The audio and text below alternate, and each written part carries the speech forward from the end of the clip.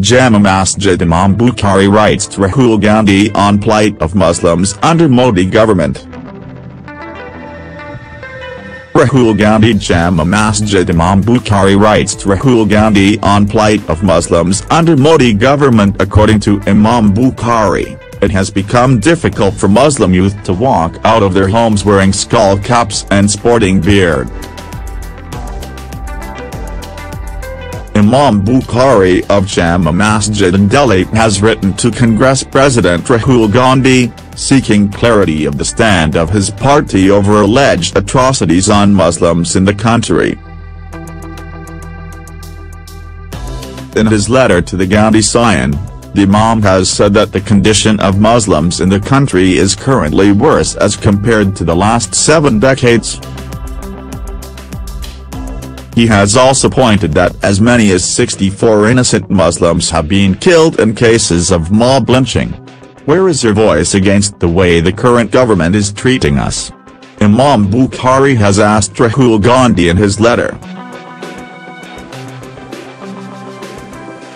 According to him, it has become difficult for Muslim youth to walk out of their homes wearing skull caps and sporting beard. We expect that as a responsible opposition, you will pressure the government over this issue, Bukhari further wrote in his letter. The letter from the Jama Masjid Imam Bukhari comes days after a controversy over Rahul Gandhi's remark on Congress being a party of Muslims. And New Daily reported that Congress chief, in a meeting with Muslim intellectuals, said that Congress was a party of Muslims.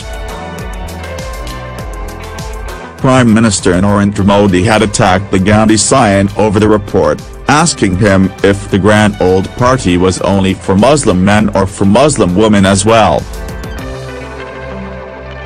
Addressing a public gathering in Uttar Pradesh's Azamgarh, Prime Minister Modi had said, I have read in the newspaper that Congress President has said that Congress is a party of Muslims, I am not surprised by this.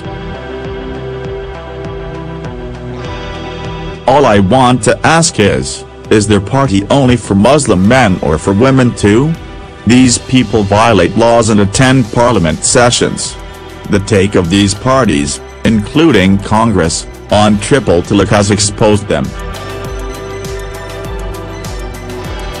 On one side the center is trying to make the lives of women easy, on the other side these people have grouped together to make the lives of women, especially Muslim women, difficult, he had further said.